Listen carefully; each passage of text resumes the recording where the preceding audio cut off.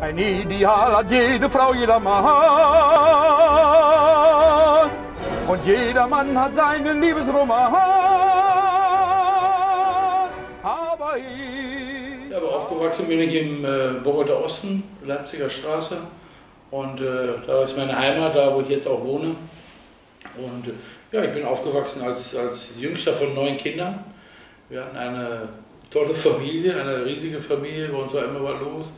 Äh, bei uns in der Siedlung waren ganz viele Freunde und Kinder und äh, war also sehr, sehr, sehr kinderreiche Siedlung bei uns und wir hatten alle viel Spaß und waren viel draußen, äh, viel durch die Wälder geströmt und wir hatten keine multimediale Welt und wir sind wirklich im Sandkasten groß geworden quasi und ja, war eine wunderschöne Kindheit. Aber ich, aber ich habe zehn ein ganz ganz wichtiger äh, Aspekt auch in, in, in, meinem Leben. Also Familie, meine, meine Frau, meine drei Kinder, meine, Geschwister. Äh, meine Eltern sind leider nicht mehr da, aber äh, ja, ich, ich finde es ganz wichtig, also dass man äh, Rückhalt hat in der Familie und, und äh, ja, ja, es gehört einfach dazu. Und mehr beinahe, denn für mich, ja für mich Mädels nur ja, das war, mein Sohn sagte, Papa, wir sind heute im Auto gesessen bei mir und ich habe zu meinem Kumpel Rüffing gesagt, schmeiß mal dein Handy an auf Shazam und äh, dann hat er meine CD angelegt oder laufen lassen. Äh, ein Lied geht um die Welt und äh, ja, siehe da, da erscheint Winnie Biermann auf dem, auf dem Bildschirm und da war der Kumpel total geflasht und sagte, wow, jetzt ist, jetzt ist dein Vater ganz oben sozusagen. Also war schon eine tolle, tolle Geschichte, ja. Oh blond, oh braun, ich liebe alle Frauen, ein Herr.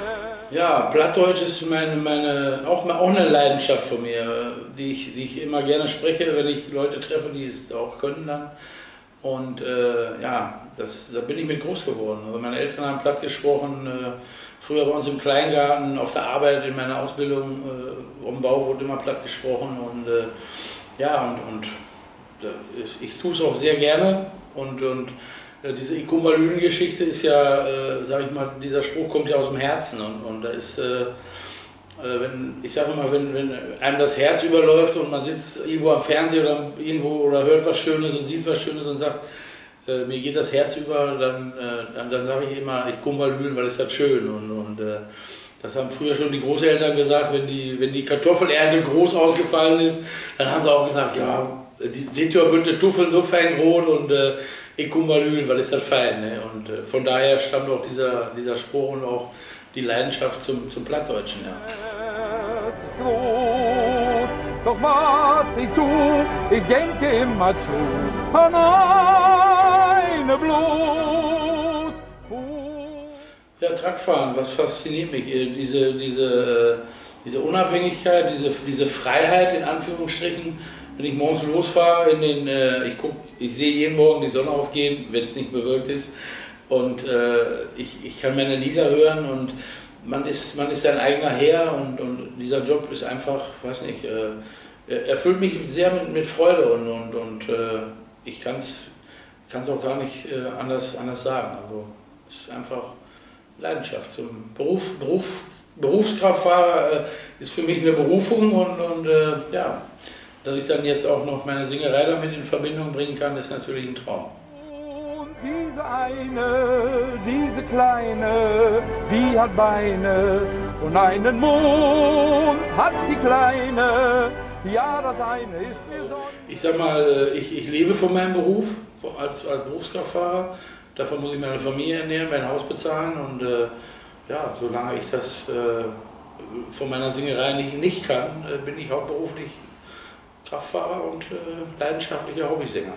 Gut, ich würde mich natürlich freuen, wenn es jetzt äh, so weit nach vorne geht, dass ich, dass ich da auch von leben könnte. Und, und äh, äh ja, natürlich wäre das sehr schön, klar. Aber Winnie, der singende Tracker, ist, äh, ist ja ohne Track eigentlich nur die halbe Nummer. Und von daher äh, denke ich mal, dass, dass es immer, auch bei den Auftritten, immer wieder Verbindungen oder mit dem LKW gebracht wird. Und ja, ich, wie gesagt, äh, für mich ist das alles noch äh, beides zusammen und, und äh, ich möchte es auch gar nicht trennen eigentlich.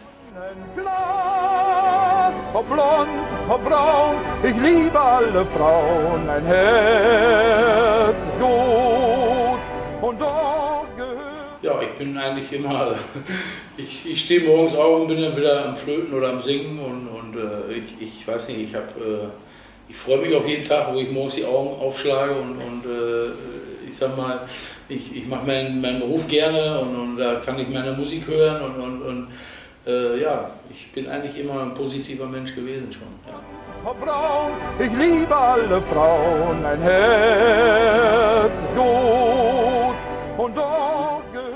Wo geht's da hin? Ja, wir, wir haben jetzt äh, mein erstes Album rausgebracht. Ich hatte meinen ersten riesig großen Fernsehauftritt beim Silbereisen. Und äh, ja, wo geht's jetzt hin? Ich freue mich auf, auf, auf die nächsten Auftritte. Äh, das nächste Album ist schon äh, geplant, was gemacht wird. Und äh, ja, ich lasse alles auf mich zukommen und äh, freue mich, dass ich äh, irgendwo jetzt äh, was erreicht habe, äh, wo, wo viele tausend Menschen von, von träumen, äh, wo ich selber nie von äh, gewagt habe zu träumen, was jetzt passiert ist mit mir.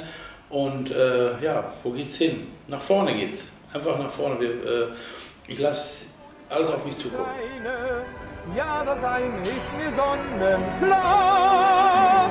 Ob blond, ob braun, ich liebe alle Frauen. Mein Herz ist groß und doch gehört nur einer offenbar. Denn die eine, die ich meine, küsse, ja, vermut.